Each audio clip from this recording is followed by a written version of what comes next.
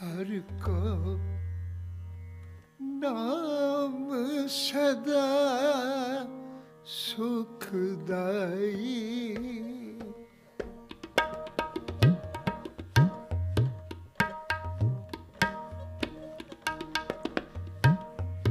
ਹਰ ਕੋ ਨਾਮ ਸਦਾ ਸੁਖਦਾਈ।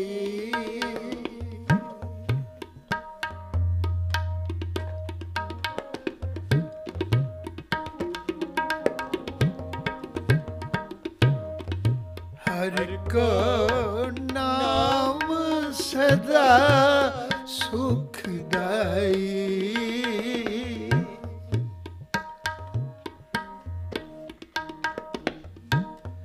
ਜਾਂ ਕੋ ਸਿਮਰੇ ਅਜਮਲ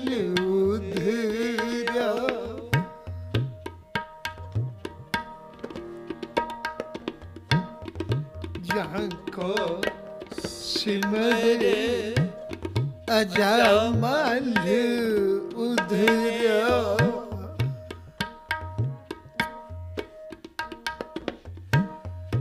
ਗਨ ਕਾਹੂ ਗਤ ਪਾਈ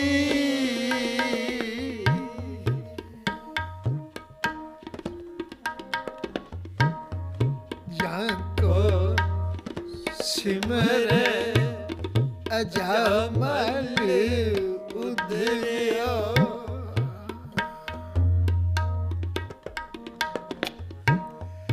ਗਨ ਕਾ ਹੂੰ ਗਤ ਪਾਈ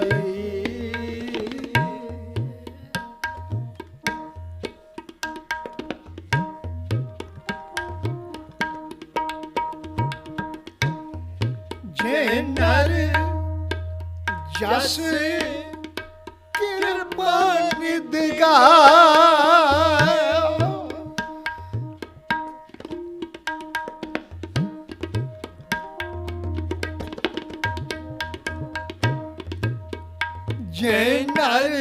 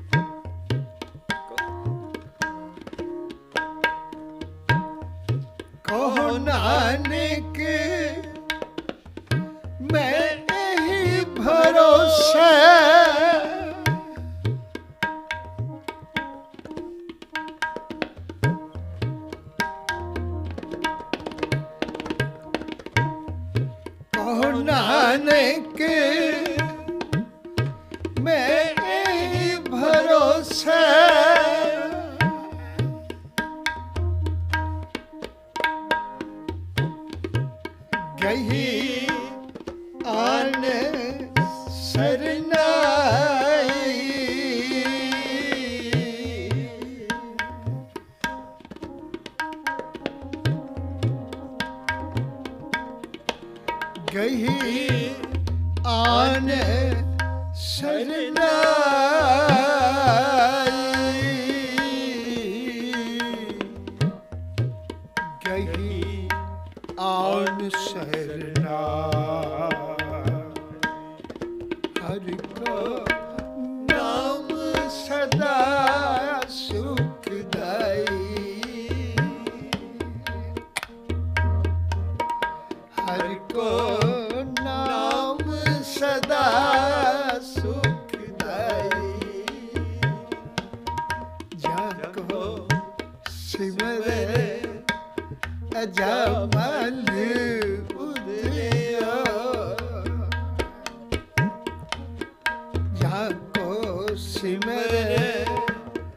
ਅਜਮਲ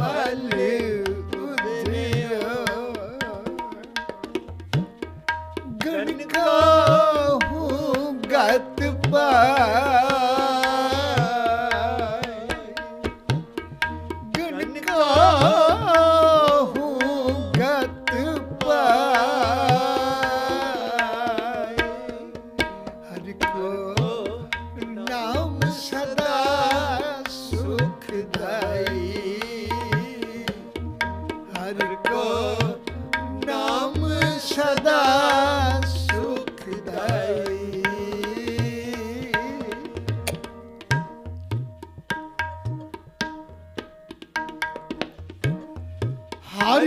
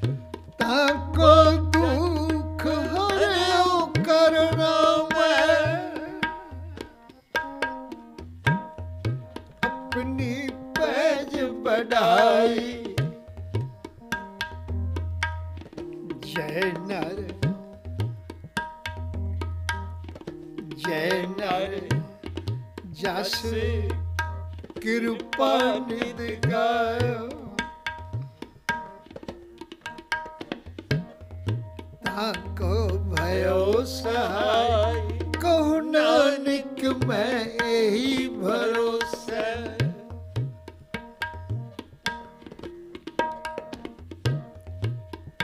मैं यही भरोसा। तेरा एक नाम तारे संसार। मैं यही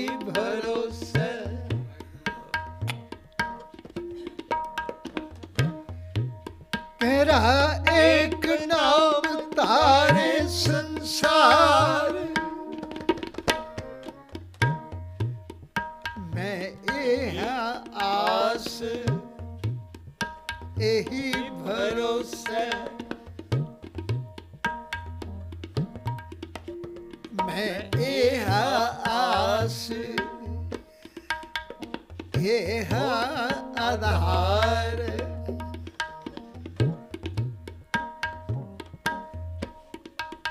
ਨਾਮ ਹਿਰਦੈ।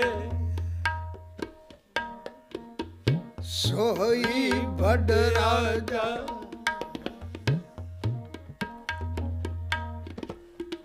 ਜਿਸ ਨਾਮ ਹਿਰਦੈ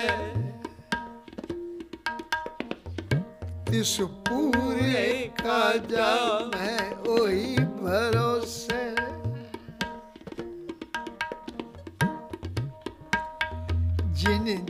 ਨਾਮ ਦਿਆਇਆ। ਜਿਨ ਜਿਨ ਨਾਮ ਦਿਆਇਆ, ਤਿਨ ਕੇ ਕਾਜ ਸਰੇ ਮੈਂ ਇਹੀ ਭਰੋਸੇ।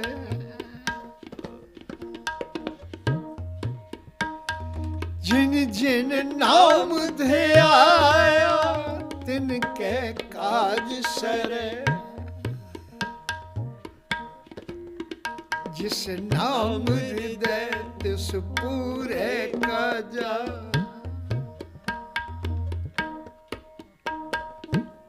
ਜਿਸ ਨਾਮ ਹਿਰਦੈ ਤਿਸ ਕੋਟ ਧਨ ਪਾਏ।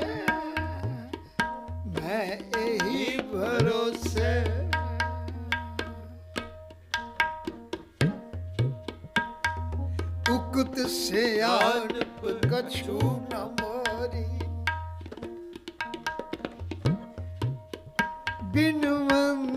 ਨਾਨਕ ਸਰਨ ਪ੍ਰਭ ਤੋਈ ਉਕਤ ਸਿਆਣਪ ਕਛੂ ਨਾ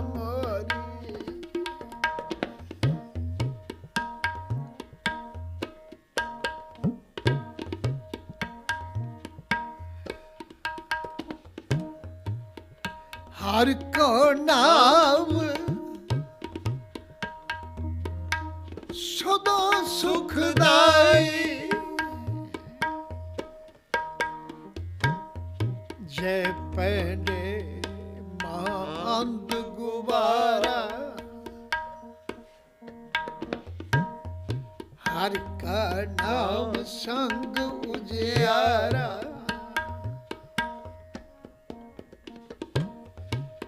ਸ਼ਾਹ ਪੰਥ ਤੇਰਾ ਕੋ ਨਾ ਸਿਆਣੂ।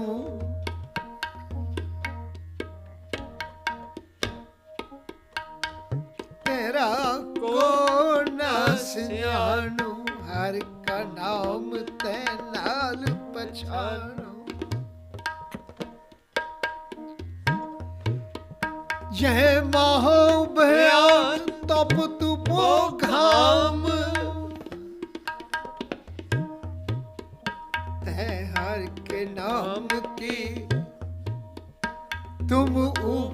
ਸ਼ਾਮ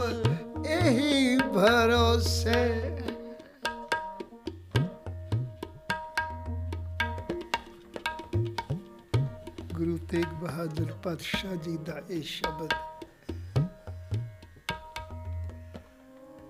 ਕਿਸੇ ਚੀਜ਼ ਦਾ ਭਰੋਸਾ ਕਰਾਉਣ ਲਈ ਵਿਸ਼ਵਾਸ ਕਹਿ ਦੇਣਾ ਕੋਈ ਹੋਰ ਗੱਲ ਹੈ।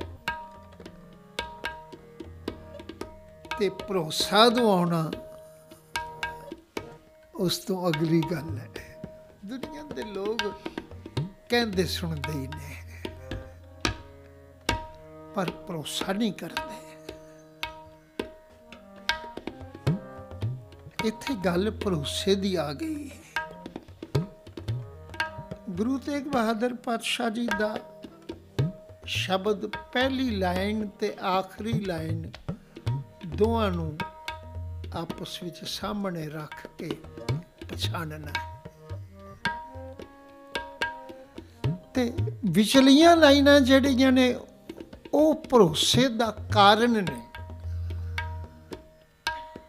ਕਈ ਵਾਰੀ ਮਨੁੱਖ ਕਹਿੰਦਾ ਵੀ ਮੈਂ ਕਿਵੇਂ ਭਰੋਸਾ ਕਰਾਂ? ਕਿਵੇਂ ਭਰੋਸਾ ਕਰਾਂ ਵੀ ਤੂੰ ਸੱਚ ਆਖ ਰਿਹਾ ਤੂੰ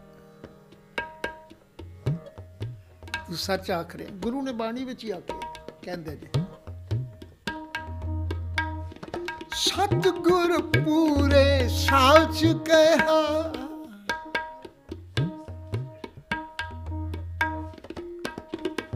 ਸਤਗੁਰ ਪੂਰੇ ਸਾਚ ਕਹਿਆ।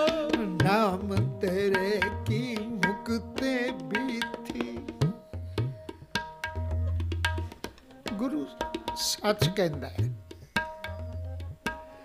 ਤੇ ਐਗਜ਼ਾਮਪਲ ਦੇ ਕੇ ਸਮਝਾਉਂਦਾ ਹੈ। ਕਹਿੰਦਾ ਜੈ ਪੈਂਡੇ ਲੂਟੀ ਪਨਹਾਰੀ ਸੋ ਮਾਰਗ ਸੰਤਨ ਦੁਰਾਰੀ। ਸਤਗੁਰ ਪੂਰੇ ਸਾਚ ਕਹਿਆ, ਨਾਮ ਤੇਰੇ ਕੀ ਮੁਕਤੇ ਬੀਥੀ। ਮੁਕਤੇ ਬੀਥੀ ਦਾ ਅਰਥ ਹੈ ਜਿਵੇਂ ਆਪਾਂ ਕਹਿ ਦਈਏ, ਵੱਡਾ ਖੁੱਲਾ ਰਸਤਾ, ਗਾਡੀ ਰਾਹ, ਜੀਟੀ ਰੋਡ। ਕਿਉਂਕਿ ਇੱਕ ਪਾਸੇ ਇਹ ਗੱਲ ਕਹੀ ਗਈ ਸੀ ਕਿ ਅਮਨ ਜਾਣ ਨਾ ਸੁਜਈ ਭੀੜੀ ਗਲੀ ਫਈ। ਉੱਥੇ ਵੀ ਲਫ਼ਜ਼ ਸਨ, ਨਾਨਕ ਆਖੇ ਰੇ ਮਨਾ ਸੁਣੀਏ ਸਤ ਸਿੱਖ ਸਹੀ। ਉੱਥੇ ਵੀ ਇਹੋ ਲਫ਼ਜ਼ ਸਨ ਕਿ ਸਤਗੁਰ ਪੂਰੇ ਸਾਚ ਕਹਿਆ, ਕਿਉਂਕਿ ਸਾਨੂੰ ਦੋ ਚੀਜ਼ਾਂ ਮਿਲਣੀਆਂ ਪੈਣੀਆਂ ਨੇ। ਉਥੇ ਵੀ ਲਫ਼ਜ਼ ਨੇ, ਸਤਗੁਰ ਪੂਰੇ ਸਾਚ ਕਹਿਆ। ਤੇ ਇੱਥੇ ਵੀ ਲਫ਼ਜ਼ ਨੇ, ਨਾਨਕ ਆਖੇ ਰੇ ਮਨਾ ਸੁਣੀਏ ਸਿੱਖ ਸਹੀ। ਸੱਚੀ ਗੱਲ ਸੁਣ। ਇਸ ਸੱਚੀ ਗੱਲ ਵਿੱਚ ਇੱਕ ਜ਼ਿਕਰ ਕੀਤਾ ਨੇ ਉਹ ਇਹ ਕਿ ਤੈਨੂੰ ਉਸ ਰਸਤੇ ਦਾ ਪਤਾ ਜਿੱਥੇ ਆਮਨ ਜਾਣ ਨਾ ਸੁਝਈ ਭੀੜੀ ਗਲੀ ਫਈ। ਜਿੱਥੇ ਆਉਣਾ ਜਾਣਾ ਬੜਾ ਔਖਾ ਹੈ। ਬੜਾ ਸੋਚੀ ਪੈ ਜਾਈਦਾ ਵੀ ਇਥੋਂ ਲੰਘਾਂ ਕਿ ਨਾ ਲੰਘਾਂ। ਇਹ ਤਾਂ ਆਪਾਂ ਫਸ ਜਾਵਾਂਗਾ। ਆਵਣ ਜਾਣ ਨਾ ਸੁਝਈ ਪੀੜੀ ਗਲੀ ਫਹੀ, ਬੜੀ ਛੋਟੀ ਸਤੀਰ ਮੁਕਤ ਦੁਆਰਾ ਸ਼ੰਕਰਾ ਰਾਈ ਦਸਵੇਂ ਭਾਏ। ਇਥੋਂ ਕਿਵੇਂ ਲੰਘਾਂਗਾ? ਪੀੜੀ ਗਲੀ ਫਹੀ। ਇਹ ਵੀ ਇਹ ਵੀ, ਸੁਣੀਏ ਸਿੱਖ ਸਹੀ ਤੇ ਉੱਥੇ ਵੀ ਲਫ਼ਜ਼ ਨੇ ਸਤਿਗੁਰ ਪੂਰੇ ਸਾਚ ਕਹਿਆ ਉੱਥੇ ਇਸ ਦੇ ਦਰਵਾਜ਼ੇ ਨੂੰ, ਭੀੜੀ ਗਲੀ ਨੂੰ ਮੋਕਲਾ ਮੁਕਤਾ ਆਖ ਦਿੱਤਾ ਹੈ। ਸਤਿਗੁਰ ਪੂਰੇ ਸਾਚ ਕਹਿਆ ਕਹਿਣ ਲੱਗੇ ਜਿਹੜੇ ਨਾਮ ਨਾਲ ਜੁੜਦੇ ਨੇ, ਉਹਨਾਂ ਦਾ ਦੁਆਰਾ, ਉਹਨਾਂ ਦਾ ਰਸਤਾ ਮੋਕਲਾ ਹੋ ਜਾਂਦਾ ਹੈ। ਸਤਿਗੁਰ ਪੂਰੇ ਸਾਚ ਕਇਆ ਨਾਮ ਤੇਰੇ ਕੀ ਮੁਕਤੇ ਬੀਥੀ ਬੀਥੀ ਦਾ ਮਤਲਬ ਹੈ ਗਲੀ। ਤੇਰੇ ਨਾਮ ਦੀ ਗਲੀ ਬੜੀ ਖੁੱਲੀ ਹੈ। ਜਿਹੜੇ ਨਾਮ ਜਪਣ ਵਾਲੇ ਨੇ ਉਹਨਾਂ ਨੂੰ ਕੋਈ ਆਵਣ ਜਾਣ ਵਿੱਚ ਪਰੇਸ਼ਾਨੀ ਨਹੀਂ। ਉਹ ਆਉਂਦੇ ਵੀ ਨੇ। ਐਸਾ ਨਹੀਂ। ਅਜੀਬ ਗੱਲ ਇਹ ਹੈ। ਸਾਨੂੰ ਇੱਕ ਗੱਲ ਦੇ ਨਾਲ ਅਗਲੀ ਗੱਲ ਸਾਹਮਣੇ ਆ ਜਾਂਦੀ ਹੈ। ਅਸੀਂ ਜੰਮਣ ਮਰਨ ਨੂੰ ਹੀ ਆਵਣ ਜਾਣ ਸਮਝ ਲਿਆ। ਇੱਥੇ ਗੁਰੂ ਬਾਰ-ਬਾਰ ਕਹਿ ਰਹੇ ਨੇ, ਉਹਨਾਂ ਨੂੰ ਆਉਣ ਜਾਣ ਵਿੱਚ ਕੋਈ ਪਰੇਸ਼ਾਨੀ ਨਹੀਂ। ਕਿਉਂਕਿ ਉਹ ਆਉਂਦੇ ਵੀ ਹੁਕਮ ਵਿੱਚ ਨੇ। ਤੇ ਜਾਂਦੇ ਵੀ ਹੁਕਮ ਵਿੱਚ ਨੇ, ਤੇ ਹੁਕਮ ਕੀ ਹੈ? ਇਹ ਅੱਗੇ ਆ ਚੁੱਕਾ ਹੈ। ਇੱਕੋ ਨਾਮ ਹੁਕਮ ਹੈ। ਨਾਮ ਹੁਕਮ ਹੀ ਹੈ। ਬੜਾ ਸੌਖਾ ਹੈ ਗੁਰਮਤ ਦਾ ਇਹ ਸਿਧਾਂਤ ਸਮਝਣਾ। ਕਿ ਸਿਰਫ ਵਾਹਿਗੁਰੂ ਵਾਹਿਗੁਰੂ ਜਾਂ ਰਾਮ ਰਾਮ ਕਹੀ ਜਾਣਾ ਨਾਮ ਨਹੀਂ। ਉਹਦੇ ਹੁਕਮ ਵਿੱਚ ਰਹਿਣ ਦਾ ਸੁਭਾਅ ਬਣਾਣਾ ਉਹਦੇ ਹੁਕਮ ਵਿੱਚ ਰਹਿਣ ਦੀ ਆਦਤ ਬਣਾਣਾ ਅਸਲ ਭਗਤੀ ਇਹ ਹੈ। ਇੱਕ ਵਾਰ ਅੱਗੇ ਤੋਂ ਸੀ ਗੁਰਬਾਣੀ ਦੀ। ਉਹ ਇਹ ਸੀ ਕਿ ਗੁਰਮੁਖ ਹੱਸੇ, ਗੁਰਮੁਖ ਰੋਵੇ, ਜੋ ਗੁਰਮੁਖ ਕਰੇ ਸਾਈ ਭਗਤ ਹੋਵੇ। ਜੋ ਕੁਝ ਵੀ ਕਰੇ ਉਹ ਭਗਤੀ ਬਣ ਜਾਂਦੀ ਹੈ।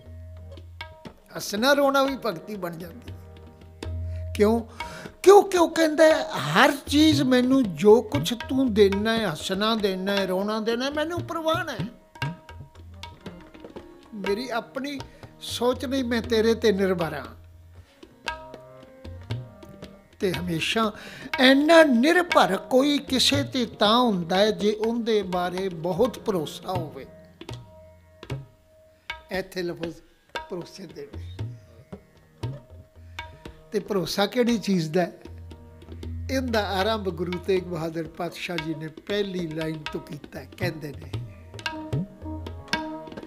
ਹਰ ਕੋ ਨਾਮ ਸਦਾ ਸੁਖਦਾਈ ਹੁਕਮ ਵਿੱਚ ਰਹਿਣਾ, ਨਾਮ ਜਿਹੜਾ ਹੈ, ਇਹ ਸਭ ਤੋਂ ਵੱਡਾ ਸੁਖ ਹੈ। ਕਿਉਂਕਿ ਕਲਪਨਾ ਕੋਈ ਨਹੀਂ ਰਹਿੰਦੀ। ਅਗਲੇ ਪਾਸੇ ਕਹਿੰਦੇ ਨੇ ਜਾਂ ਕੋ ਸਿਮਰ ਅਜਾ ਐਗਜ਼ਾਮਪਲ ਮੈਂ ਕਿਸ ਨਾਮ ਦੀ ਗੱਲ ਕਰਨਾ ਗੁਰੂ ਤੇਗ ਬਹਾਦਰ ਪਾਤਸ਼ਾਹ ਕਹਿੰਦੇ ਨੇ ਜਾਂ ਕੋ ਸਿਮਰ ਅਜਾ ਮਲ ਉਦਰਿਓ ਗਣਕਾ ਹੂੰ ਗਤ ਪਾਈ। ਗੁਨਾਹਗਾਰਾਂ ਦਾ ਨਾਮ ਲਿਸਟ ਦੇ ਉਹ ਵੀ ਪਾਪੀ ਹੈ। ਅਜਾ ਬਲ ਪਾਪੀ ਜਗ ਜਾਣੇ ਇੱਕ ਪਾਸੇ ਲਫ਼ਜ਼ ਕਿਹਾ ਤੇ ਇੱਥੇ ਵੀ ਕਹਿਤਾ ਗਣਕਾ ਪਾਪਣ ਹੋਏ ਕੇ ਪਾਪਾਂ ਦਾ ਗਲ ਹਾਰ ਪਲੋਤਾ ਹੈ? ਦੋਹਾ ਪਤਤ ਤੇ ਗੁਨਾਹਗਾਰ ਲੋਕਾਂ ਦਾ ਜ਼ਿਕਰ ਇੱਥੇ ਇੱਕ ਐਗਜ਼ਾਮਪਲ ਵਜੋਂ ਕਰ ਦਿੱਤਾ। ਗੁਰੂ ਤੇਗ ਬਹਾਦਰ ਪਾਤਸ਼ਾਹ ਕਹਿਣ ਲੱਗੇ ਜਾਕੋ ਸਿਮਰ ਅਜਾਮਲ ਉਦਰਿਓ, ਗਣਕਾ ਹੂੰ ਪਾਈ। ਹੋਰ ਐਗਜ਼ਾਮਪਲ ਦਿਆਂ, ਗੁਰੂ ਤੇਗ ਬਹਾਦਰ ਪਾਤਸ਼ਾਹ ਕਹਿੰਦੇ ਨੇ, ਹੋਰ ਐਗਜ਼ਾਮਪਲ ਦਿਆਂ, ਤਾਂ ਕਿ ਤੇਰਾ ਭਰੋਸਾ ਬਣ ਜਾਏ। ਮੇਰਾ ਇਹ ਸੋਣੀ ਨਾ ਲਵੇ, ਹਰ ਕੋ ਨਾਮ ਸਦਾ ਸੁਖਦਾਈ। ਤੈਨੂੰ ਹਰ ਕੋ ਨਾਮ ਸਦਾ ਸੁਖਦਾਈ ਤੇ ਭਰੋਸਾ ਬਣ ਜਾਏ ਕਿਉਂਕਿ ਆਖਰੀ ਲਫ਼ਜ਼ ਤੇ ਆ ਕੇ, ਆਖਰੀ ਲਾਈਨ ਤੇ ਭਰੋਸੇ ਦੀ ਗੱਲ ਕਰ ਦਿੱਤੀ। ਮੈਂ ਤੈਨੂੰ ਅਜਮਲ ਤੇ ਗਣਕਾ ਦੀ ਐਗਜ਼ਾਮਪਲ ਦਿੱਤੀ ਹੈ ਤਾਂ ਕਿ ਤੇਰਾ ਭਰੋਸਾ ਬਣ ਜਾਏ, ਹਰ ਕੋ ਨਾਮ ਸਦਾ ਸੋਹਦਾਈ ਜਾਂ ਕੋ ਸਿਮਰ, ਅਜਮਲ ਉਦਰਿਓ ਗਣਕਾ ਹੋਗਾ ਪੰਚਾਲੀ ਕੋ ਰਾਜ ਸਭਾ ਮੈਂ ਉਹਨਾਂ ਇੱਥੇ ਫਿਰ ਰੁਕਣਾ ਹੈ। ਕਿਸੇ ਸੰਸਾਰਿਕ ਦੇਹਧਾਰੀ ਭਗਵਾਨ ਦੀ ਗੱਲ ਨਹੀਂ। ਦੇਹਧਾਰੀ ਭਗਵਾਨ ਦੀ ਗੱਲ ਨਹੀਂ। ਜੇ ਗੱਲ ਹੁੰਦੀ, ਤੇ ਜੇ ਇਤਿਹਾਸਕ ਹਿਸਟਰੀ ਜਿਹੜੀ ਬਣਾ ਦਿੱਤੀ ਗਈ ਲੋਕਾਂ ਨੂੰ ਸਮਝਾਉਣ ਲਈ, ਉਹਦੀ ਗੱਲ ਹੁੰਦੀ ਤਾਂ ਉਸ ਹਿਸਟਰੀ ਨੂੰ ਭਾਈ ਗੁਰਦਾਸ ਨੇ ਜ਼ਿਕਰ ਕਰਦਿਆਂ ਕਰਦਿਆਂ ਹਿਸਟਰੀ ਦੇ ਮੁਤਾਬਕ ਇਹ ਕਹਿ ਦਿੱਤਾ, ਹਾ ਹਾ, ਕ੍ਰਿਸ਼ਨ ਕਰੇ ਕੇ ਵਿਲਨ ਦੀ। ਫਿਰ ਇਹ ਇਤਿਹਾਸ ਪਾਂਡਵਾਂ ਦਾ ਕ੍ਰਿਸ਼ਨ ਦੇ ਟਾਈਮ ਦਾ ਹੈ। ਕ੍ਰਿਸ਼ਨ ਦੇ ਟਾਈਮ ਦਾ। ਦੁਆਪਰ ਦੇ ਟਾਈਮ ਦਾ। ਪਰ ਇੱਥੇ ਲਫ਼ਜ਼ ਕ੍ਰਿਸ਼ਨ ਨਹੀਂ, ਰਾਮ ਹੈ।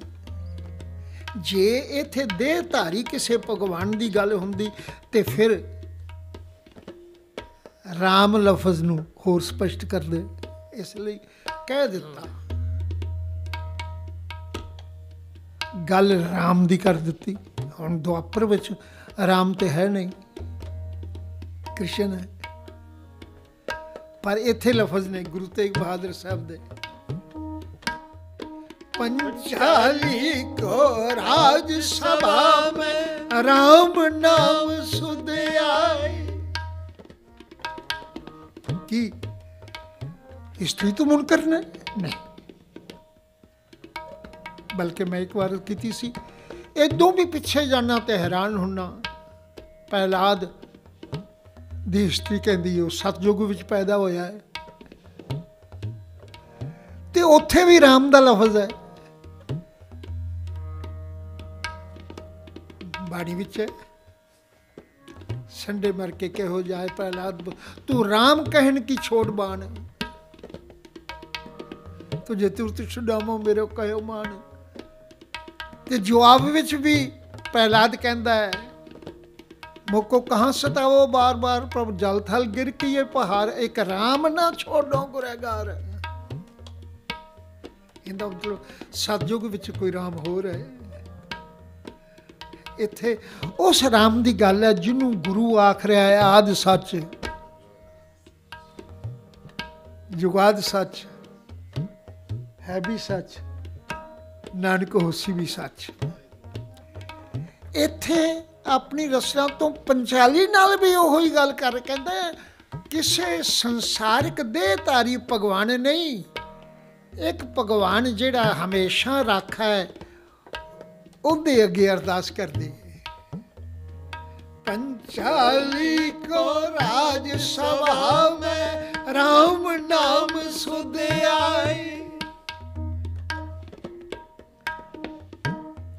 ਤਾਂ ਤਾਕੋ ਦੁਖ ਹਰਿਓ ਕਰਨਾ ਮੈਂ ਤਾਂ ਤਾਕੋ ਦੁਖ ਹਰਿਓ ਕਰਨਾ ਮੈਂ ਆਪਣੀ ਪੈਜ ਬੜਾਈ ਹਰ ਕੋ ਨਾਮ ਸਦਾ ਸੁਖਦਾਈ ਇਹ ਹੁੰਦੀ ਪੈਜ ਹੈ ਹਰ ਕੋ ਨਾਮ ਸਦਾ ਸੁਖਦਾਈ ਤੇ ਭਰੋਸਾ ਦਵਾਉਣ ਲਈ ਕਿਉਂਕਿ ਇਹ ਐਗਜ਼ਾਮਪਲ ਦਿੱਤੀਆਂ ਗਈਆਂ ਨੇ, ਤਾਂ ਕਿ ਤੈਨੂੰ ਪਤਾ ਲੱਗ ਜਾਏ, ਜੈ ਨਰ। ਜਸ ਕਿਰਪਾ ਨਿਦ ਗਾਇਓ, ਤਾਂ ਕੋ ਭਇਓ ਸਹਾਈ। ਕਹਿ ਲੱਗੇ, ਇੰਨੀਆਂ ਐਗਜ਼ਾਮਪਲ ਨਾਲ ਸਮਝਾਉਣ ਤੋਂ ਬਾਅਦ ਮੈਨੂੰ ਵਿਸ਼ਵਾਸ ਆ ਗਿਆ। ਮੈਂ ਹੁਣ ਤੇਰੀ ਸ਼ਰਨ ਆ ਗਿਆ। ਬਸ, ਮੈਨੂੰ ਕਿਤੇ ਹੋਰ ਜਾਣ ਦੀ ਲੋੜ ਨਹੀਂ।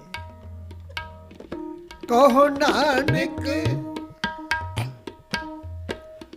ਮੈਂ ਇਹੀ ਭਰੋਸਾ ਐਂਡ ਐਗਜ਼ਾਮਪਲ ਮੇਰੇ ਸਾਹਮਣੇ ਨੇ। ਅਜੇ ਮੈਨੂੰ ਹਰ ਕੋ ਨਾਮ ਸਦਾ ਸੋਦਾਈ ਤੇ ਭਰੋਸਾ ਨਾ ਆਵੇ। ਬਸ ਹੁਣ ਇਹੀ ਮੈਨੂੰ ਭਰੋਸਾ ਆ ਗਿਆ। ਤੇ ਪਤਾ ਲੱਗ ਗਿਆ, ਜੋ ਤੂੰ ਦੇ ਸੋਈ ਹੋ ਖਾਓ, ਬਿਆਦਰ ਨਹੀਂ ਕਹਿ ਦਰ ਜਾਓ। ਜੇ ਸੁਖ ਦੇ ਤਾਂ ਤੁਝੇ ਆਰਾਧੀ। ਦੁੱਖ ਵੀ ਤੁਝੇ ਦੇ ਆਈ ਮੈਂ ਇਹ ਭਰੋਸੇ ਜੇ ਭੁੱਖ ਦੇ ਤਾਂ ਇਤਹੀ ਰਾਜਾ ਲੋ ਇੱਥੇ ਫਿਰ ਰੁਕਣਾ ਚਾਹਨਾ ਕਿਉਂਕਿ ਮਨੁੱਖ ਭਰੋਸੇ ਤੋਂ ਵਿਹੂਣਾ ਹੋਣ ਕਰਕੇ ਦਿਨ ਰਾਤ ਕੁਛ ਕਰ ਤੇ ਰਿਹਾ ਹੈ ਪਰ ਭਰੋਸਾ ਨਹੀਂ ਸੰਸਾਰਿਕ ਆਪਣੇ ਬਲ ਤੇ ਭਰੋਸਾ ਨਹੀਂ। ਮਨੁੱਖ ਨੂੰ ਬਲ ਹੈ। ਕੁਝ ਕਰ ਵੀ ਰਿਹਾ ਹੈ। ਪਰ ਭਰੋਸਾ ਇੱਕ ਅਗਲੀ ਵਿਸ਼ ਅ, ਕਿਰਿਆ ਹੈ। ਮਨੁੱਖ ਨੂੰ ਆਪਣੇ ਕਰਦਿਆਂ ਕਰਦਿਆਂ ਵੀ ਭਰੋਸਾ ਨਹੀਂ। ਡਰ ਹੈ। ਕਿਤੇ ਸੰਪੂਰਨ ਨਾ ਹੋਵੇ। ਗੁਰੂ ਕਹਿੰਦੇ ਨੇ, ਉਹਦਾ ਨਤੀਜਾ ਇਹ ਹੈ ਕਿ ਮਨੁੱਖ ਨੂੰ ਮਨੁੱਖ ਨੂੰ ਹਮੇਸ਼ਾ ਬਣੀ ਰਹਿੰਦੀ ਹੈ। ਮੈਂ ਆ ਵੀ ਕਰ ਲਵਾਂ ਆ ਵੀ ਕਰ ਲਵਾਂ, ਮਤ ਆ ਪੂਰਾ ਨਾ ਹੋਵੇ। ਗੁਰੂ ਕਹਿੰਦੇ ਨੇ, ਉਹਦੇ ਵਿੱਚੋਂ ਜਨਮ ਲੈਂਦੀ ਹੈ ਭੁੱਖ। ਭੁੱਖ ਜਨਮ ਲੈਂਦੀ ਹੈ। ਸਤਿਗੁਰੂ ਜਿਹੜਾ ਨਾਮ ਬਖਸ਼ਦਾ ਹੈ ਨਾ, ਜਿਹਨੂੰ ਆਪਾਂ ਬਾਰ-ਬਾਰ ਕਹਿੰਦੇ ਆ ਸਤਿਗੁਰੂ ਕੋਲੋਂ ਨਾਮ ਬਖਸ਼ ਲੈ। ਉਹ ਹੈ ਹੁਕਮ ਮੰਨਣ ਦੀ ਆਦਤ ਪਾਉਂਦਾ ਹੈ ਗੁਰੂ। ਗੁਰੂ ਹੁਕਮ ਮੰਨਣ ਦੀ ਆਦਤ ਪਾਉਂਦਾ ਤੇ ਇਹ ਨਹੀਂ ਕਿ ਨਿਰਾ ਕਹਿੰਦਾ ਹੈ, ਬਲਕਿ ਆਪ ਹੁਕਮ ਮੰਨ ਕੇ ਸਾਹਮਣੇ ਇੱਕ ਐਗਜ਼ਾਮਪਲ ਦੇ ਕੇ ਭਰੋਸਾ ਪੈਦਾ ਕਰਦਾ ਹੈ। ਸ੍ਰੀ ਗੁਰੂ ਗ੍ਰੰਥ ਸਾਹਿਬ ਅੰਦਰ ਆਪਾਂ ਆਸਾ ਦੀ ਵਾਰ ਦਾ ਕੀਰਤਨ ਕਈ ਵਾਰ ਸੁਣਿਆ ਹੈ। ਉਹਦੇ ਵਿੱਚ ਇੱਕ ਸ਼ਲੋਕ ਹੈ। ਜਿਨ੍ਹਾਂ ਭੇਟਿਆ ਮੇਰਾ ਪੂਰਾ ਸਤਿਗੁਰੂ, ਤਿਨ ਤਿਨ ਹਰ ਨਾਮ ਦ੍ਰਿੜਾਵੇ, ਰਾਮ ਰਾਜੇ। ਹਰ ਕੋ ਨਾਮ ਸਦਾ ਸੁਖਦਾਈ। ਤਿਨ ਹਰ ਨਾਮ ਦ੍ਰਿੜਾਵੇ, ਰਾਮ ਰਾਜੇ। ਤੇ ਨਾਮ ਜਿਹੜਾ ਦ੍ਰਿੜਾਉਂਦਾ ਹੈ, ਉਹ ਕਿਸ ਰੂਪ ਵਿੱਚ ਤਿਸ ਕੀ ਤ੍ਰਿਸ਼ਨਾ ਭੁੱਖ ਸਭ ਉਤਰ। ਹੁਣ ਇਹ ਕਿਵੇਂ ਉਤਰਦੀ ਹੈ ਇਹ ਹੈ ਹੁਕਮ ਮੰਨਣ ਨਾਲ। ਮੈਨੂੰ ਪਤਾ ਹੋਵੇ ਕਿ ਮੇਰੇ ਕਮਾਏ ਨਾਲ ਮੈਂ ਨਹੀਂ ਰਚਨਾ ਜੋ ਮੇਰੇ ਮਾਲਕ ਨੇ ਦੇਣਾ ਹੈ, ਉਹ ਦੇਣਾ ਹੀ ਦੇਣਾ ਹੈ। ਜਿਨੇ ਪੈਦਾ ਕੀਤਾ ਪਹਿਲੋਂ ਦਿੱਤਾ ਹੈ। ਰਿਜਕ ਸੰਭਾਹਾ ਪਿੱਛੋਂ ਦਿੱਤਾ ਹੈ, ਜੰਤੂ ਪਹਾ ਮਨੁੱਖ ਜੋੜਦਾ ਕਿਉਂ ਹੈ? ਆ ਦਿਨ ਰਾਤ ਬੈਂਕ ਬੈਂਕ ਬੈਲੈਂਸ ਕਿਉਂ ਦੇਖਦਾ ਹੈ? ਕਿਉਂਕਿ ਇਹਨੂੰ ਇਹ ਮਨ ਵਿੱਚ ਹੁੰਦਾ ਹੈ, ਤੋਖਲਾ, ਜੇ ਕੱਲ ਨੂੰ ਲੋੜ ਪਈ ਤੇ ਕਿੱਥੋਂ ਵਰਤਾਂਗਾ? ਭਰੋਸਾ ਨਹੀਂ। ਭਰੋਸਾ ਨਹੀਂ।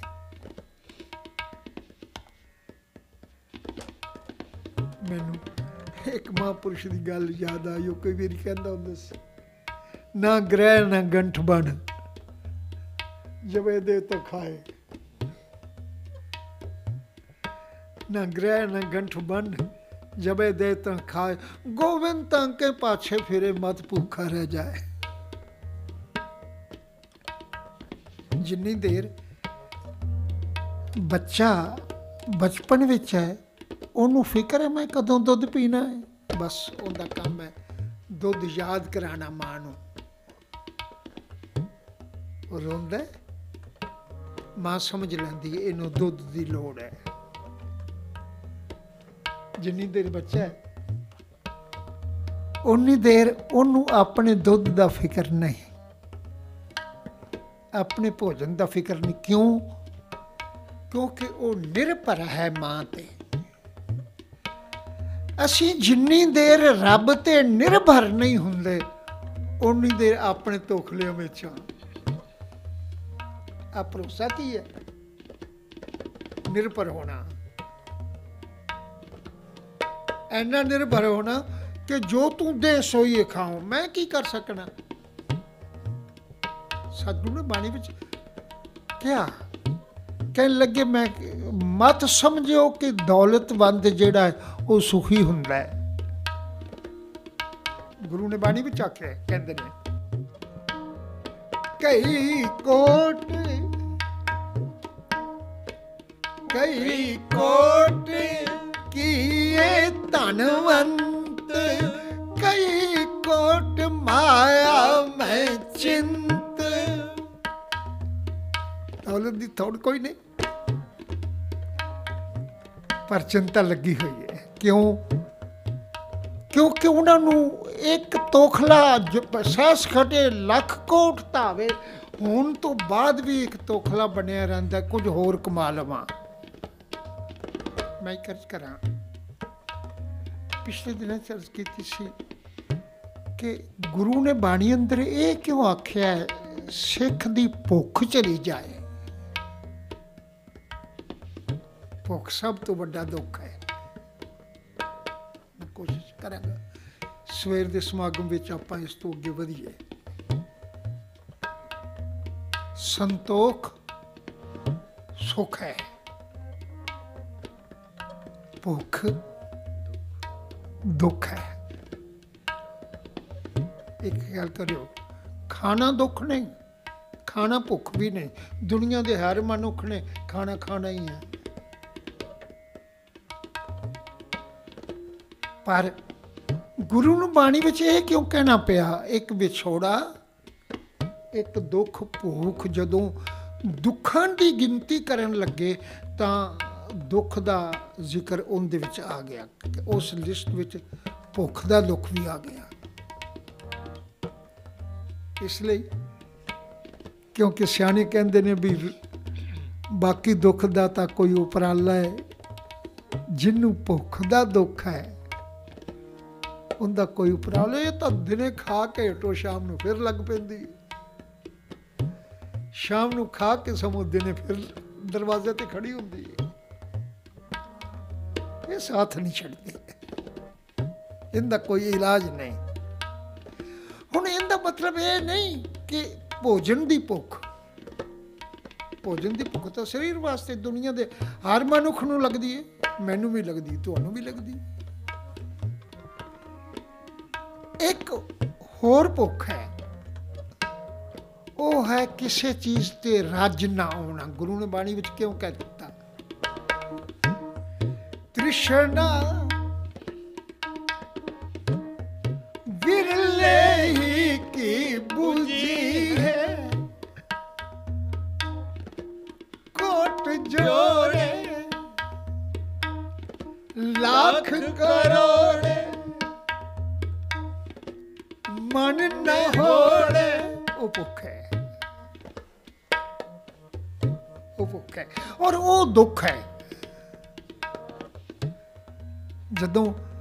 ਸਤਿਗੁਰੂ ਨੇ ਬਾਣੀ ਵਿੱਚ ਕਿਉਂ ਆਖਿਆ? ਕਹਿਣ ਲੱਗੇ, ਉਹ ਦੁੱਖ ਇਸ ਤਰ੍ਹਾਂ ਹੈ ਕਿਉਂਕਿ ਸੁਖ ਮੰਗਤ ਦੁੱਖ ਆਗੇ ਆਵੇ ਸੁਖ ਨੂੰ ਲੱਭਦੇ ਆ ਲੱਭਦੇ ਆ ਤੇ ਪਹਿਲਾ ਸੁਖ ਕਿਤੇ ਚਲਾ ਨਾ ਜਾਏ, ਉਸ ਨੂੰ ਸੰਭਾਲਦਿਆਂ ਆ ਦੁਖੀ ਹੋ ਰਿਹਾ ਹੈ। ਸਿਫਾਰਿਸ਼ ਕੀਤੀ ਸੀ। ਸਵਾਮੀ ਪਰਮਾਨੰਦ ਨੇ ਇੱਕ ਬੜੇ ਲਫ਼ਜ਼ ਗਜ਼ਬ ਦੇ ਆਖੇ ਕਹਿਣ ਲੱਗਾ, ਅਮੀਰ ਮਰ ਜਾਤਾ ਹੈ, ਗਰੀਬ ਮਰ ਜਾਤਾ ਹੈ, ਦੌਲਤ ਕੀ ਭਾਲ ਮੈਂ? ਪਾਲਦੇ ਪਾਲਦੇ ਦਿਨ ਰਾਤ ਔਕੜਾਂ ਝਾਕਦਾ, ਲੇਬਰ ਕਰਦਾ, ਮਜ਼ਦੂਰੀ ਕਰਦਾ, ਤਾਂ ਕਿ ਕੁਝ ਹੱਥ ਆ ਜਾਏ। ਗਰੀਬ ਮਰ ਜਾਤਾ ਹੈ, ਦੌਲਤ ਕੀ ਭਾਲ ਮੈਂ? ਅੱਗੇ ਕਹਿਣ ਲੱਗਾ अमीर मर जाता है धन की संभाल में ਉਹ ਭਾਲਦਾ ਭਾਲਦਾ ਮਰ ਜਾਂਦਾ ਉਹ ਸੰਭਾਲਦਾ ਸੰਭਾਲਦਾ ਮਰ ਦੁਖੀ ਤਾਂ ਦੋਨੋਂ ਹੀ ਹੋਏ ਇਸ ਲਈ ਜ਼ਰੂਰਤ ਨਾ ਪਾਲਣ ਦੀ ਹੈ ਨਾ ਸੰਭਾਲਣ ਦੀ ਹੈ ਜੇ ਹੁਕਮ ਵਿੱਚ ਆ ਜਾਏ ਮਸਲਾ ਤੇ ਆ ਜਾਣਾ ਪਾਲਦਿਆਂ ਵੀ ਦੁੱਖ ਹੈ ਸੰਭਾਲਦਿਆਂ ਵੀ ਦੁੱਖ ਹੈ ਕਈ ਕੋਟ ਮਾਇਆ ਵਿੱਚ ਚਿੰਤ। ਮੈਂ ਇੱਕ ਵਾਰ ਕੀਤੀ ਸੀ। ਕਿਸੇ ਗਰੀਬ ਦੀ ਝੌਂਪੜੀ ਨੂੰ ਤਾਂ ਖਿੜਕ ਵੀ ਨਹੀਂ ਲੱਗਾ ਹੋਇਆ। ਉਹ ਸੁੱਖ ਦੀ ਨੀਂਦ ਸੁੱਤਾ ਹੋਇਆ ਹੈ। ਅਮੀਰ ਨੂੰ ਫਿਕਰ ਹੈ ਕਿਤੇ ਚੋਰ ਨਾ ਆ ਜਾਏ। ਉਹ ਇੱਕ ਤਾਲਾ ਨਹੀਂ ਲਾਉਂਦਾ। ਦਰਵਾਜ਼ੇ ਦੇ ਅੱਗੇ ਸੰਤਰੀ ਵੀ ਖੜਾ ਕਰਦਾ ਹੈ। ਸੰਤਰੀ ਵੀ ਖੜਾ ਕੀਤਾ ਹੈ। ਤਾਲਾ ਵੀ ਲੱਗਾ ਹੋਇਆ, ਫਿਰ ਵੀ ਰਾਤ ਨੂੰ ਜ਼ਰਾ ਚੂਹੇ ਦੀ ਆਹਟ ਵੀ ਹੁੰਦੀ ਹੈ ਤੇ ਜਾਗ ਖੁੱਲ ਜਾਂਦੀ ਹੈ, ਕਿਤੇ ਕੋਈ ਚੋਰ ਨਾ ਆ ਜਾਏ। ਹੈ? ਸੁਖ ਮੰਗਤ, ਦੁੱਖ ਅੱਗੇ ਆਵੇ। ਗੁਰੂ ਕਹਿੰਦੇ ਨੇ, ਮੈਨੂੰ ਜਿਹੜੇ ਸੁੱਖ ਮੰਗਦਿਆਂ ਮੰਗਦਿਆਂ, ਪਾਲਦਿਆਂ ਪਾਲਦਿਆਂ ਮਨੁੱਖ ਦੁਖੀ ਹੋਵੇ, ਕਹਿਣ ਲੱਗੇ ਮੈਨੂੰ ਉਹ ਸੁੱਖ ਨਹੀਂ ਚਾਹੀਦਾ। ਇਹਦਾ ਮਤਲਬ ਉਹ ਸੁ- ਦੁੱਖ ਹੈ। ਕੇਵਲ ਤ੍ਰਿਸ਼ਨਾ ਫਿਕਰ ਚਿੰਤਾ ਜੇ ਭਲਾ ਹੁਕਮ ਵਿੱਚ ਰਹਿਣ ਦੀ ਆਦਤ ਪੈ ਜਾਏ ਨਾ ਪਾਲੇਗਾ ਨਾ ਸੰਭਾਲੇਗਾ ਜੇ ਤਾਂ ਦੇ ਤੇ ਤਾਂ ਖਾਉ ਬੇਦਰ ਨਹੀਂ ਕਹਿ ਵਿਸ਼ਵ ਆਸ਼ਾ ਇਹ ਤੀਸ ਪੈਦਾ ਹੁੰਦੀ ਹੈ ਭਰੋਸੇ ਤੇ ਗੱਲ ਫਿਰ ਭਰੋਸੇ ਤੇ ਆ ਜਾਂਦੀ ਹੈ ਕਿੰਨੇ ਕਹਾ ਮੇਰੇ ਸਮੇਤ ਸੱਚਾਈ ਹੈ ਕਿੰਨੇ ਕਹਾ ਜਿਹੜੇ ਇਹ ਭਰੋਸਾ ਰੱਖਦੇ ਹੋਈਏ ਜੀ, ਮੇਰੇ ਮਾਲਕ ਨੇ ਮੈਨੂੰ ਦੇਣਾ ਹੈ, ਮੈਂ ਦੇ, ਮੈਂ ਖਾ ਲੈਣਾ ਮੈਨੂੰ ਕੋਈ ਲੋੜ ਨਹੀਂ ਫਿਕਰ, ਚਿੰਤਾ ਕਰਨ ਦੀ। ਚਿੰਤਾ ਕਰਦਾ ਹੈ। ਦੁਨੀਆ ਦਾ ਹਰ ਮਨੁੱਖ ਕਰ ਰਿਹਾ ਆ ਸੰਸਾਰ ਦੇ ਕਾਰੋਬਾਰ ਇਸੇ ਲਈ ਚੱਲ ਰਹੇ ਨੇ, ਕਿਉਂਕਿ ਮਨੁੱਖ ਚਿੰਤਾ ਵਿੱਚ ਹੈ, ਮਤ ਕਿਤੇ ਕੰਮ ਰੋਕਣਾ ਚਾਹੇ ਤੇ ਗੁਰੂ ਬਾਰ-ਬਾਰ ਇਹ ਕਹਿੰਦੇ ਨੇ, ਭਰੋਸਾ ਕਰ। ਕਿਉਂਕਿ ਗੱਲ ਤਾਂ ਭਰੋਸੇ ਦੀ ਹੈ। ਜਿਸ ਦਿਨ ਭਰੋਸਾ ਆ ਜਾਏਗਾ, ਉਸ ਦਿਨ ਤੇਰੀ ਭੁੱਖ ਦਾ ਦੁੱਖ ਮਿਟ ਜਾਏਗਾ। ਉਹ ਹੈ, ਸਤਿਗੁਰੂ ਨੇ ਬਾਣੀ ਵਿੱਚ ਆਖ ਦਿੱਤਾ ਹੈ, ਕਹਿਣ ਲੱਗੇ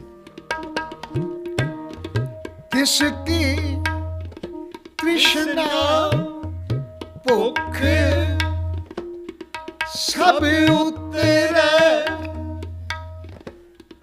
ਜੋ ਹਰ ਨਾਮ ਧਿਆਵੇ। ਹੁਣ ਫਿਰ ਇੱਥੇ ਉਹੀ ਗੱਲ ਆ ਗਈ, ਨਾਮ ਧਿਆਉਣ ਦੀ। ਨਾਮ ਧਿਆਉਣਾ ਕੀ ਹੁਕਮ ਮੰਨਣਾ? ਧਿਆਉਣਾ, ਧਿਆਨ ਵਿੱਚ ਰੱਖਣਾ, ਹਮੇਸ਼ਾ ਯਾਦ ਰੱਖਣਾ। ਹਮੇਸ਼ਾ ਯਾਦ ਰੱਖਣਾ ਕਿ ਮੈਨੂੰ ਮੇਰੇ ਮਾਲਕ ਨੇ ਦੇਣਾ ਹੀ ਦੇਣਾ ਹੈ। ਉਹ ਚਿੰਤਾ ਕਰਨ ਦੀ ਮੈਨੂੰ ਲੋੜ ਨਹੀਂ। ਅਸੀਂ ਰੋਜ਼ ਪੜ੍ਹਦੇ ਹਾਂ, ਸੋ ਕਰਤਾ ਚਿੰਤਾ ਕਰੇ, ਜਿਹਨੂੰ ਉਪਾਇਆ ਜਗ। ਫਿਰ ਫਿਕਰ ਕਿਉਂ? ਕੰਮ ਕਰ। ਇਹ ਨਹੀਂ ਵੀ ਕੰਮ ਛੱਡ ਦੇ। ਤੈਨੂੰ ਕਰਨ ਲਈ ਕੁਝ ਬਣਾਇਆ ਹੈ, ਕਰਮ ਧਰਤੀ ਹੈ। ਗੁਰੂ ਇਹ ਵੀ ਨਹੀਂ ਕਹਿੰਦਾ, ਤੂੰ ਕਰਮ ਛੱਡ ਦੇ। ਕਾਰੋਬਾਰ ਕਰ। ਕੰਮ ਕਰ, ਪਰ ਚਿੰਤਾ ਨਾ ਕਰ।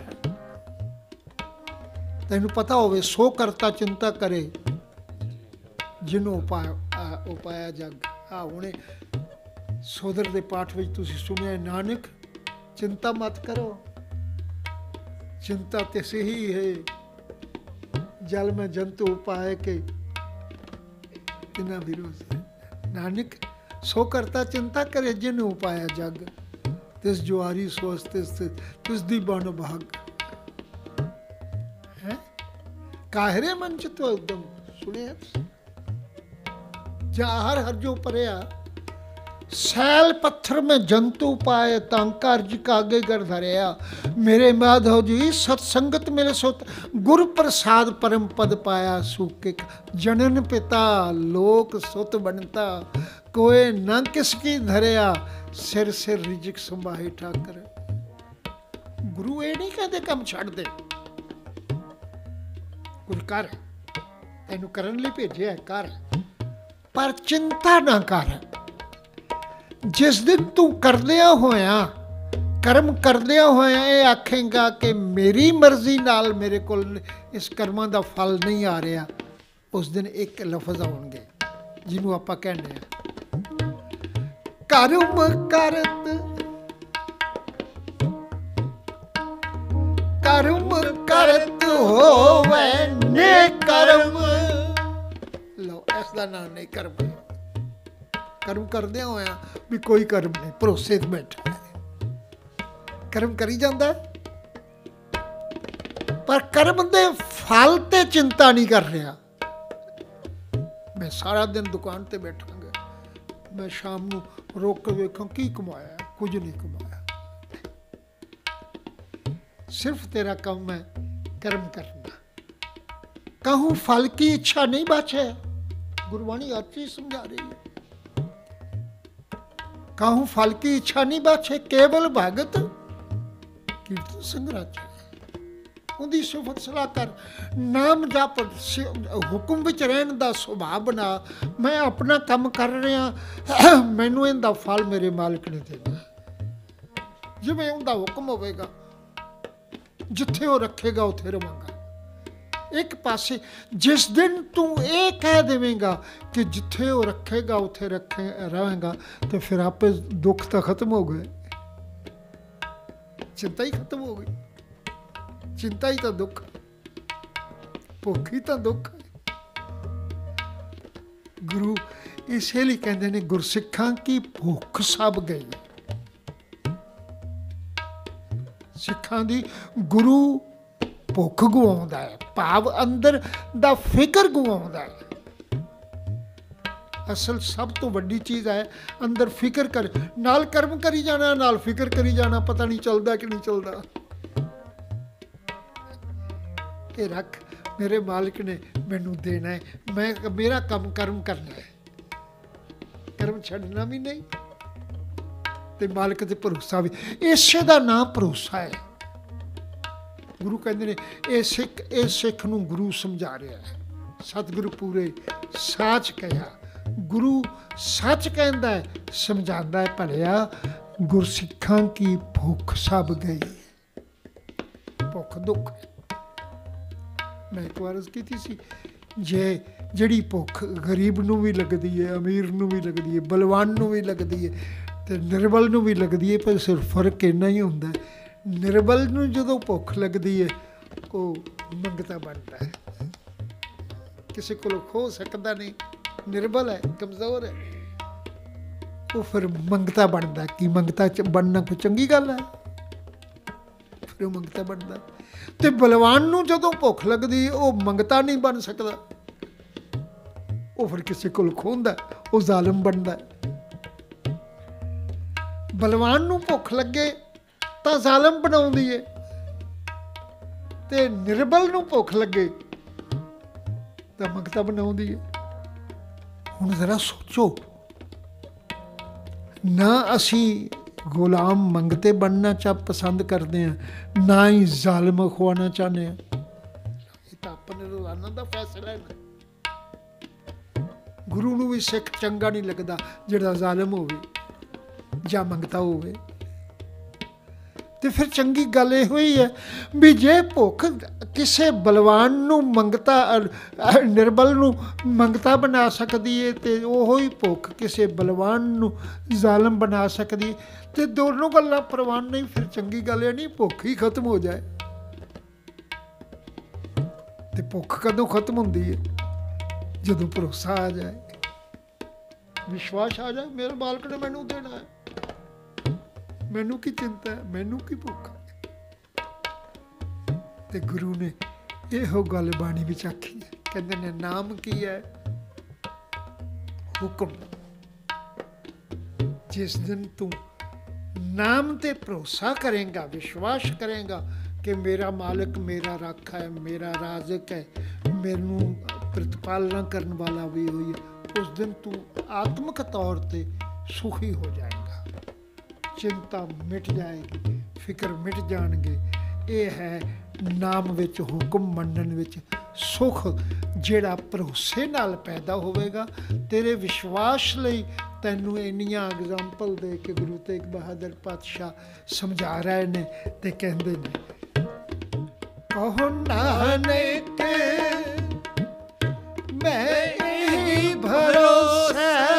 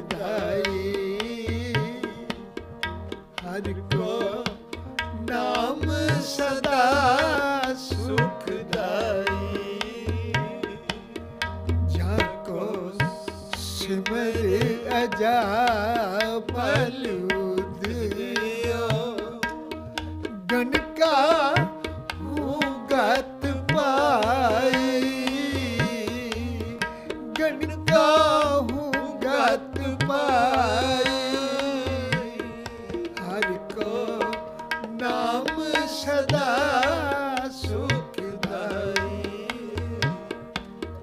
ਹਰ ਕੋ ਨਾਮ ਸਦਾ ਸੁਖਦਾਈ ਤੋ ਆਓ, ਨਾਮ ਹੁਕਮ ਹੈ। ਹੁਕਮ ਤੇ ਭਰੋਸੇ ਦੀ ਲੋੜ ਹੈ ਕਿ ਮੇਰਾ ਮਾਲਕ ਮੈਨੂੰ ਦੇਣ ਵਾਲਾ ਕੰਮ ਕਰਦਾ ਜਾ। ਕਰਮ ਨਹੀਂ ਛੱਡਣਾ, ਪਰ ਕਰਮ ਕਰਤ ਹੋਵੇ ਨਿਕਰਮ। ਕਾਹੂ ਫਲ ਕੀ ਇੱਛਾ ਨਹੀਂ ਕਿਉਂ ਝੋਰੇ ਝੁਰਨਾ ਹੈ, ਕਿਉਂ ਫਿਕਰ ਕਰਨਾ ਹੈ? ਕਰਦਾ ਹੋਇਆ ਵੀ ਫਿਕਰ ਕਰ ਰਿਹਾ ਹੈ। ਜਦੋਂ ਕਰਦਾ ਹੋਇਆ ਫਿਕਰ ਕਰਦਾ ਹੈ, ਤਾਂ ਉਦੋਂ ਤੂੰ ਨਾਮ ਨਾਲੋਂ ਟੁੱਟ ਜਾਣਾ, ਨਾਮ ਹੁਕਮ ਹੈ। ਹੁਕਮ ਵਿੱਚ ਰਹਿਣ ਦਾ ਸੁਭਾਅ ਬਣਾ ਜੇ ਮੇਰੇ ਕਰਮ ਕਰਦਿਆਂ ਵੀ ਮੈਨੂੰ ਜਿਸ ਸਤਾ ਤੇ ਮਾਲਕ ਰੱਖਣਾ ਚਾਹੁੰਦਾ ਹੈ, ਉੱਥੇ ਰਵਾਂਗਾ, ਖੁਸ਼ ਰਹਾਂਗਾ। ਜੇ ਭੁੱਖ ਦੇ ਤਾਂ ਇਤ ਹੀ ਰਾਜਾਂ। ਬਸ ਦੁੱਖ ਵਿੱਚ ਸੁਖ ਮਨਾਏ। ਉਸ ਦੁੱਖ ਵਿੱਚ ਵੀ ਮੈਨੂੰ ਸੁੱਖ ਨਜ਼ਰ ਆਵੇਗਾ, ਕਿਉਂਕਿ ਮੈਨੂੰ ਹੁਕਮ ਵਿੱਚ ਰਹਿਣ ਦੀ ਆਦਤ ਬਣ ਜਾਏਗੀ। ਇਹਨਾਂ ਸ਼ਬਦਾਂ ਨਾਲ ਖਿਮਾ ਦਾ ਜਾਚਕ ਹਾਂ। ਫਤਿਹ ਬੁਲਾਓ। ਵਾਹਿਗੁਰੂ ਜੀ ਕਾ ਖਾਲਸਾ। ਵਾਹਿਗੁਰੂ ਜੀ ਕੀ ਫਤਿਹ। ਬੋਲੇ ਸੋ